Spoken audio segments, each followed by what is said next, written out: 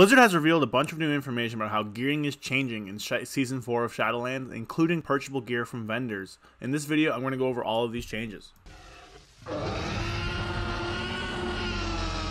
Everyone, Voodoo here. So as I mentioned in the intro, uh, a bunch of new changes are coming in uh, Shadowlands Season 4 for gearing. Um, it's kind of supposed to be an experimental season, uh, right? Like what they're doing with raids and M+, um, to kind of see how things work and see how um, different seasons could be moving forward into Dragonlands. Now, they've mentioned that a lot of this stuff is happening because Season 4 is meant to be so short. But uh, if things are received well, then uh, definitely we could see some of these things being iterated on and being kept um, into uh, Dragonflight. So before we start, I just want to say uh, thanks for watching the videos. Um, if you're watching and haven't subscribed yet, uh, please subscribe. I'll be covering all the 9.2.5 and Dragonflight news, um, and I really appreciate all the support. So anyways, um, a quick overview. Uh, there's two new fundamental changes coming to gearing in Season 4. Um, both of these relating to raids uh, primarily. Um, M plus and PvP acquisition isn't changing that much. However, you know, um, Valor will be uncapped and Conquest will be uncapped in Season 4, so there's that. Um, and those two things are um, the introduction of a three-part quest line, which whenever you complete each part of the quest, you get a little coin that you can use to spend um, at a vendor for a certain piece of item, which I'll cover. Another one are um, heroic and mythic, uh, basically gear upgrade items that you get from killing bosses.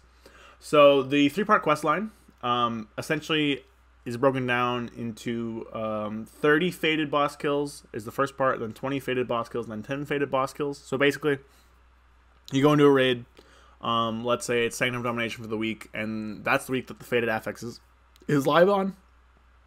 You kill 10 bosses, you get um, a third of the way through your um, your quest. Um, now these are unique bosses, so if you kill, um, if you clear the raid on normal, you can't go into heroic and clear it again and get more progress, or go into LFR and clear it again and get more progress. That won't work. So basically, you're gonna have to um, do a full weekly cycle uh, for the first one, and then you need to do two weeks for the second one, and just a week for the last one. Now, thankfully, uh, LFR will be open, so if your raid is unable to kill certain bosses on um, the week for that you need, um, you're able to be going into LFR and killing those bosses and getting your quest progress. Now, when you finish this, what you get is a little coin. You get a small coin uh, called a Puzzling Cartel Dinar. And there are vendors in Oribos that sell um, trinkets and weapons from uh, the raids, the three raids, um, for one dinar each, right? So effectively, what that means is that you're able to buy three items from those vendors, right? Because you get one coin each from each of the the three quest lines, and then that's the only source for them. So you get three items, um, three coins. Uh, you'll take about six weeks to get all those coins and you go to the vendor once you get a coin and you you buy the item. Now this item comes at a normal item level which uh, is bad but uh, there are things to fix that which i'll touch on. And the only thing that they sell like i said are trinkets and weapons. And so what blizzard kind of want to do with that is there's a lot of items like old warrior soul or sylvanas daggers or gavel from um, the jailer or i don't know like Xy'mox trinket there's a bunch of stuff that's super cool and super unique, um, and that brings a lot of power gain to um, classes.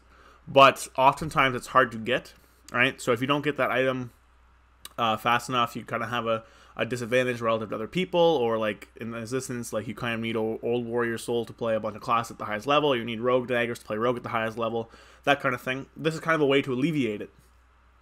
Um, I think it's pretty good. I like that it's limited, right? I mean, I don't think gearing should just be go to a vendor, buy my gear, and boom, uh, I'm, I'm done because you know it's an MMO. Uh, part of that is just grinding for your gear, so I think this is this is a, a good kind of midway ground. Um, the one thing that kind of fucks over people who are multi-spec, right? So let's say I'm I'm on my druid, right? And I play balance primarily. I go buy a weapon, I go buy some trinkets, um, and then I can't you know spec into feral or spec into tank.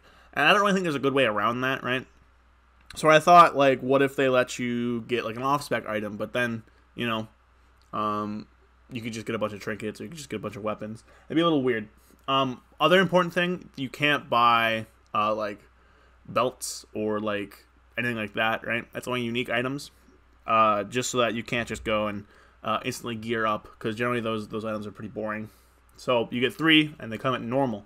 Now, uh, the issue with them coming at normal is that you obviously can't use them to get higher upgraded things. Um, but they're also getting a benefit, a fix for that. So there are items that can be um, redeemed. Uh, it's a vendor, I believe. I'm not sure. But there's like these shards that drop from bosses on heroic and mythic difficulty uh, while the faded affix is up. And once you have 20 of those shards, so 20 heroic shards or 20 mythic shards, you can upgrade an item from any item level to the um, I, the level of the shard you got. So you can upgrade like an LFR normal to heroic, or you can upgrade LFR normal heroic to mythic. Now you get these shards. Uh, each shard drops from a boss. It's a 100% chance, right? So you kill heroic Vigilant Guardian, you get a heroic shard. You kill mythic Shriekwing, you get a mythic shard. That kind of thing. Uh, currently 100%. And then every 20 shards you have, um, you get this upgrade item that can upgrade any item to that uh, eye level threshold. So you can upgrade any, you know, LFR or Mythic. And this is very going to be very important when combined with your uh, Dinar pieces. So let's say like I could go buy two Vein Rippers and I could upgrade them all the way to Mythic or Heroic or whatever, um, without even ever needing to loot one myself. So this I think this is actually a really big, big deal, right? Because you're able to loot an item on a lower difficulty or buy the item with your Dinar um, and then get that all the way upgraded to your maximum difficulty that so it's actually usable and with you for the rest of the expansion. Um, because it's the final patch right? And you get three pieces so it's not like everything is like this but you can buy your most important pieces. Like you can buy your double vein ripper and your Xy'mox trinket or you can buy your uh, arbiter gavel your uh, DK ring and your I don't know what else is good for them? Uh, I don't know old, old warrior soul. There you go.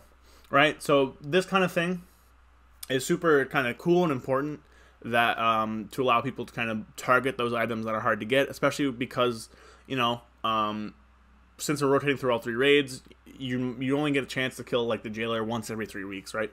So I think this is gonna be this is a great way of kind of reining in the RNG and itemization while still keeping kind of that flavor of uh, MMO and RPG elements there.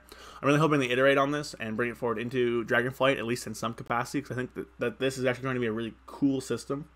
Um, nothing is kind of um, set in stone yet, right? So everything is going to um, subject to change. It's all on PTR, but uh, hopefully this is like a really good sign of things to come, and something like this is going to change um, whatever happens in um, Dragonflight. So yeah, that's uh, that's all I have today. Uh, thank you guys for watching the video.